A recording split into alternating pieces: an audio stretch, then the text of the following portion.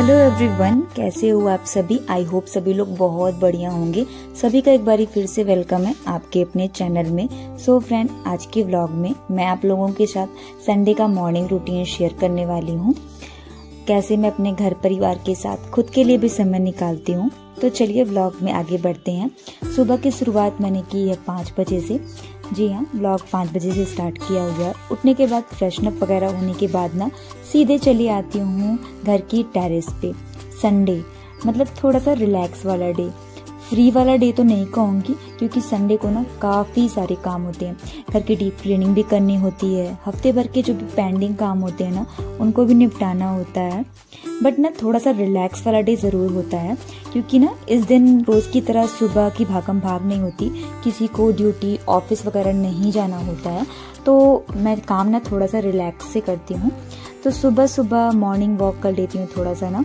और सुबह की जो खूबसूरत है, उसको एंजॉय करती हूँ। एक्सरसाइज वगैरह करती हूँ पाँच से दस मिनट। ज़्यादा टाइम तो नहीं होता है मेरे पास। थोड़ा बहुत जो भी टाइम होता है, वो खुद के लिए ज़रूर निकालती हूँ। इससे ना मेरी बॉडी भी एनर्जेटिक हो जाती है। और अगर हमारी बॉडी फिट होती है, हमारा माइंड फ्रेश होता है, तभी हम घर के कामों को सही तरीके से कर सकते हैं। तो इसीलिए मैं जो भी टाइम मिलता है, मैं सोचती हूँ थोड़ा बहुत एक्सरसाइज वगैरह कर लूँ।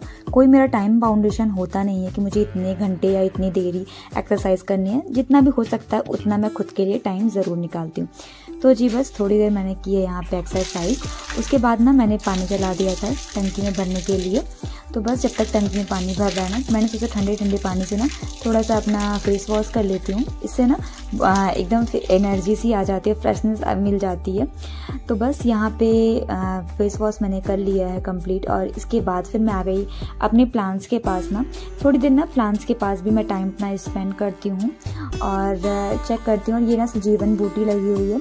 तो इसमें से मैं थोड़े थोड़े से ना कट कट करके फिर से उन्हें लगा दे रही हूँ गमलों में। तो ये बहुत जल्दी लग जाते हैं।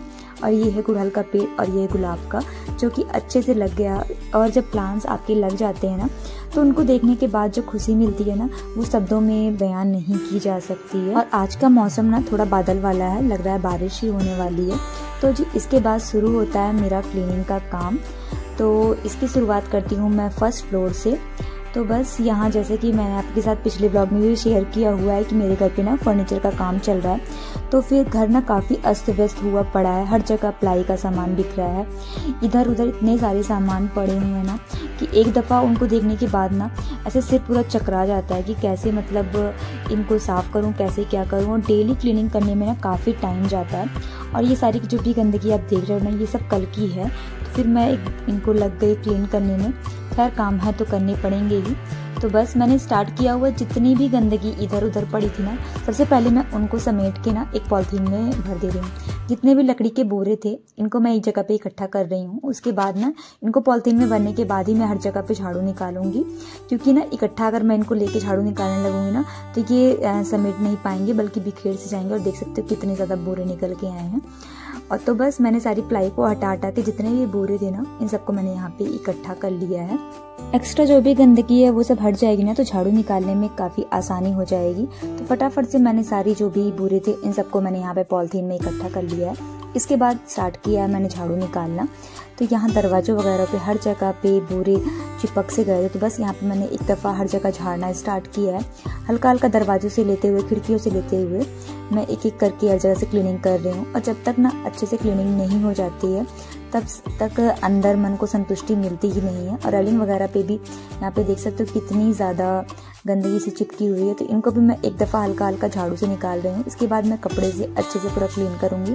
तो सारे दरवाज़ों को भी मैंने यहाँ पे ले लिया है। स्विच बोर्ड को भी अच्छे से क्लीन कर लिया है। तो फिर मैं ना एकदम देख देख के अच्छे से पूरा क्लीनिंग कर रही हूँ ताकि बिल्कुल भी गंदगी ना रह जाए। खैर, काम आज फिर लगने वाला है बट होता है ना।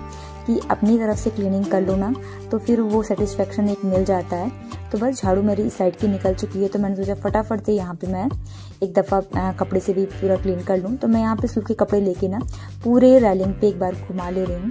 और इसके बाद इधर मैं कांच वाली रेलिंग के साइड भी ना पूरा अच्छे से क्लीन कर रही, ले रही हूँ। कांच को भी मैं अच्छे से पूरा पहुँच ले रही हूँ। और यहाँ पर जितने भी देख सकते हो गंदगी थी, इन सबको मैं लेते हुए पूरा झाड़ू निकाल ले रही हूँ। और जब भी मैं यहाँ पे झाड़ू निकालती हूँ ना, ऐसे लगता है कि लकड़ी के बुरे ना उड़ उड़ के नाक वगैरह में भी ऐसे घुसने लग जाते हैं। तो काफ़ी ज़्यादा छींके और खांसी वाली प्रॉब्लम्स भी आने लगती है। तो मैंने सोचा फटाफट से सारी क्लीनिंग कर लूँ तो उसके बाद फिर मैं यहाँ पर अपना फ्रेशनअप वगैरह होंगी। तो बस यहाँ पर देख सकते हो, आगे भी जहाँ भी जहाँ भी जिस जगह भी मुझे दिख रहा है, उस जगह को मैं अच्छे से पूरा क्लीन करती चल रही हूँ। तो ऊपर सारी क्लीनिंग डन हो चुकी है। तो फिर सीढ़ियों से लेते हुए मैं पूरा नीचे आ गई। और यहाँ पे भी आप देख सकते हो कि प्लाई वगैरह रखी हुई है। तो फिर ना, झाड़ू निकालने में काफ़ी ज़्यादा दिक्कत होती है, क्योंकि अगर सामान बिखरा होता है ना तो फिर अच्छे से साफ़ सफ़ाई हो नहीं पाती है। खैर, जितनी भी जगह मुझे खाली दिखी, वहाँ पर मैंने अच्छे से क्लीन कर दिया है। और ये वाला जो टेबल फ़ैन है, ये वर्कर्स लोग यूज़ करते हैं। जब भी वो कटिंग वगैरह करते हैं, वहाँ पर चलाते हैं तो वहाँ इसमें भी काफ़ी ज़्यादा गंदगी जमा हो गई थी। और एक तो ये वाइट है तो इसमें गंदगी वैसे भी सो होती है बहुत ज़्यादा, लेकिन ये क्लीन बहुत जल्दी से हो जाता है। मैंने फटाफट से कपड़ा लिया है और इसको भी अच्छे से पहुँच लिया है। झाड़ पहुँच के मैंने इसको एक जगह किनारे पर लगा दिया है। तो बाहर की क्लीनिंग मेरी कंप्लीट हो चुकी है। तो क्लीनिंग के साथ डस्टिंग भी मैं करती चलती हूँ। इससे ना घर पूरा एकदम अच्छे से क्लीन हो जाता है। अब बारी थी मेरे अंदर की साफ़ सफ़ाई करने की। तो यहाँ मैं फ़र्स्ट रूम से स्टार्ट कर रही हूँ अपना डस्टिंग और क्लीनिंग का काम। तो सबसे पहले मैंने यहाँ पे खिड़की दरवाजे सारे ओपन कर दिए हैं। और यहाँ मैं स्टोरेज बॉक्स को भी अच्छे से पूरा क्लीन कर दी हूँ। और इसके बाद ना मैं खिड़कियों को एक एक करके अच्छे से पूरा क्लीन करती चल रही हूँ। साथ साथ ना पूरी ग्रिल को भी अच्छे से पूरा पहुँच ले रही हूँ। कहीं भी एक भी थोड़ी सी भी धूल मुझे नज़र आ रही तो उसको भी मैं अच्छे से क्लीन कर दे रही हूँ। संडे को मैं आराम से अच्छे से पूरा डीप वाली क्लीनिंग जो होती है, वो मैं करती हूँ। और इसके बाद ना ये दरवाज़ों की हैंडल्स वगैरह पे भी लॉक वगैरह पे भी, जहाँ पे मुझे धूल मिट्टी हल्की भी नज़र आ रही उन सबको मैं अच्छे से पूरा क्लीन कर रही हूँ। और अभी ना घर के बाकी जन अभी आराम कर रहे हैं और थोड़ा सा लेट उठते हैं संडे को वो।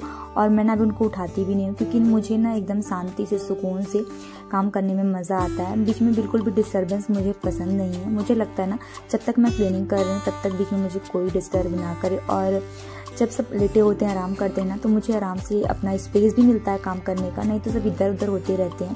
तो बीच बीच में ना इधर उधर काम रुकता चलता है तो फिर ना वो काम का जो फ्लो होता है, वो बिगड़ जाता है। और यहाँ पे भी टीवी पैनल का भी देख सकते हो, यहाँ पे भी ना अभी काम आधा अधूरा है और जब भी घर में काम लगता है ना तो फिर ऐसा रह जाता है कि कोई चीज़ कम पड़ गई, कोई चीज़ हो जाती है तो मतलब काम थोड़ा बहुत बीच में अटक भी जाता है। तो फिर इससे ना अपने मन को भी मतलब गुस्सा तो एक बार आती है कि काम अगर शुरू हो तो वैसे जल्दी जल्दी पूरा हो जाए।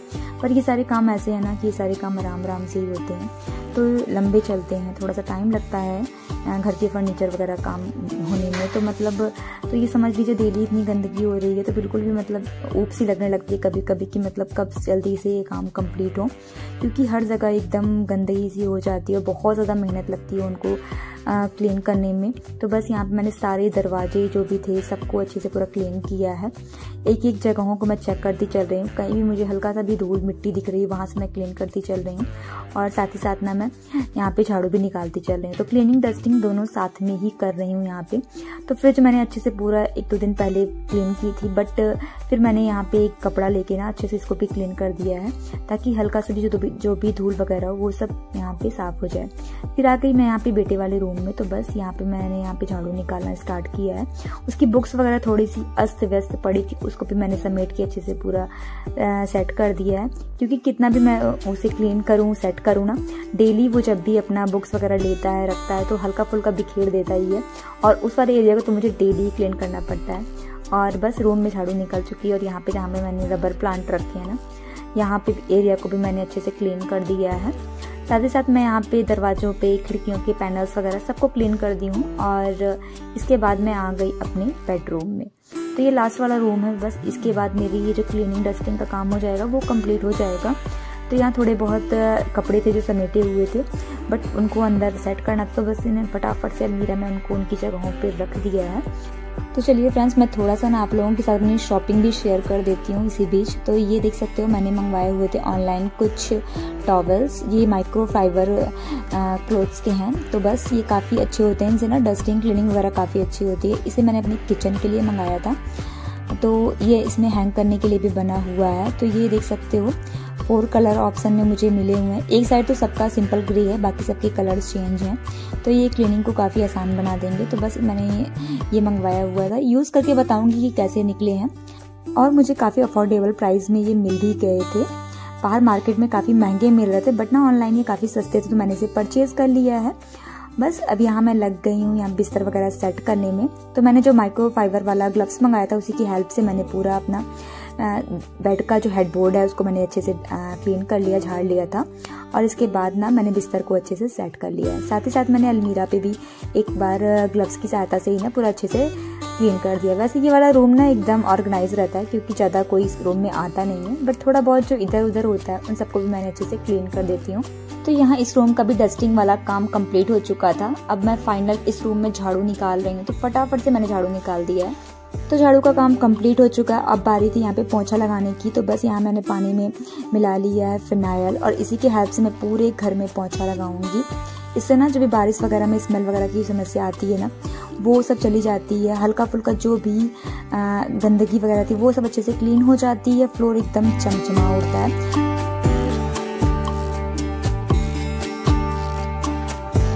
यहाँ धीरे धीरे करके ना सारे काम खत्म होते जा रहे हैं और मुझे ना बहुत खुशी मिल रही है अंदर से।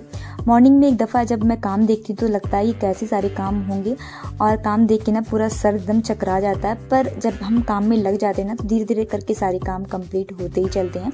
तो यहाँ बेटू जी भी उठ गए हैं तो उनको मैंने भेज दिया यहाँ पे ब्रश वगैरह करने के लिए। तो जब तक वो ब्रश वगैरह करेगा, तब तक मेरे सारे घर में पोछा वगैरह का काम कंप्लीट हो जाएगा। तो फाइनली पूरे घर में पोछा लग चुका है। इसके बाद जो भी मैट्स वगैरह थे, उनको झाड़ के मैं ना उनकी जगहों पे सेट कर दे रही हूँ। तो इसी के साथ ना मेरे जो भी साफ़ सफ़ाई वाले काम है, वो सब कंप्लीट हो चुके हैं। तो बस यहाँ पे जो भी खिड़की दरवाजे खुले हुए थे तो बस मैं यहाँ पे अब खिड़कियों को बंद कर दूँगी और सीधे चले जाऊँगी अब सावा लेने के लिए। और मैं मिलूँगी आपको सीधे पूजा पाठ करने के बाद। तो फाइनली मैं यहाँ पे सावर लेके और पूजा पाठ करके आ गई हूँ किचन में। आगे के काम करने के लिए। जी हाँ बारी थी नाश्ता पानी की तैयारी करने के लिए। तो दूध यहाँ पे बॉईल हो चुका है और मैंने ना यहाँ पे ऑयल डिफ्यूज़र भी ऑन कर दिया है। साथ में ना पूजा घर में मैं धूप बत्ती जो जलाती हूँ ना, उसकी भी फ्रेगरेंस पूरे घर में एकदम फैल गई है। और इस ऑयल डिफ्यूज़र की भी तो इनकी वजह से ना पूरे घर का जो माहौल एकदम खुशनुमा सा है। एक अलग से ही खुशबू में पूरा घर सारा बोर हो गया और मन एकदम फ्रेश सा और खुश सा हो गया है। तो फटाफट मैंने यहाँ पे दूध हटाया और चढ़ानी है मुझे चाय पकने के लिए तो बस मैंने चाय भी चढ़ा दी है साथ में।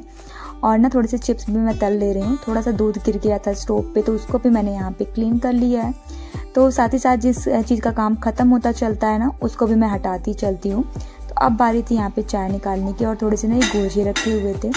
तो इनको भी मैं यहाँ पे थोड़ा सा तल ले रही हूँ। तलने के बाद ना काफ़ी टेस्टी लगते हैं ये। तो बस ये रहा हमारा सुबह का नाश्ता। तो नाश्ता वगैरह डन हो चुका है। उसके बाद इस रूम का भी मैंने बिस्तर वगैरह सेट कर लिया था। अच्छे से झाड़ के मैंने सब सेट कर लिया था और ब्लैंकेट्स वगैरह भी मैंने फोल्ड करके रख दिए थे। और ये कुछ एक दिन पहले के कपड़े थे जो सूखे हुए थे तो इनको बारी थी अभी इनको फोल्ड करके इनकी जगहों पे सेट करने की। तो फटाफट से मैं लगे हाँ तो इनको भी फोल्ड करके ना अलमीरा में सेट कर दे रही हूँ। और मेरे घर का सारा काम जो सुबह का होता है वो सब कंप्लीट हो चुका है और घर एकदम ऑर्गेनाइज हो चुका है। किचन का स्लैब वगैरह मैंने सब फिर से क्लीन कर लिया था, सारा स्टोव वगैरह पहुँच लिया था और ये थोड़े से ना बर्तन थे जो अभी चाय वाले थे। तो बारी थी इनको भी धुल के लगाने की तो फटाफट से मैं इनको भी लगे हाथ तो धुल धुल के ना यहीं बर्तन वाले स्टैंड में रख दे रही हूँ। इनका पानी झड़ जाएगा तो मैं इनको अंदर रैक्स में सेट कर दूँगी। इसी के साथ ना मेरे जो सुबह के मॉर्निंग वाले सारे काम होते हैं, वो सब कंप्लीट हो चुके हैं फ्रेंड्स तो फ्रेंड्स कैसा लगा आपको आज का ये ब्लॉग आई होप पसंद आया हो अच्छा लगे तो लाइक करिए। चैनल पे अगर आप न्यू हैं तो चैनल को सब्सक्राइब कर लीजिएगा। वीडियो को अपने फ्रेंड फैमिली सर्कल में शेयर करिएगा। तो मिलते हैं ऐसे ही नए ब्लॉग के साथ। ओके बाय बाय दोस्तों।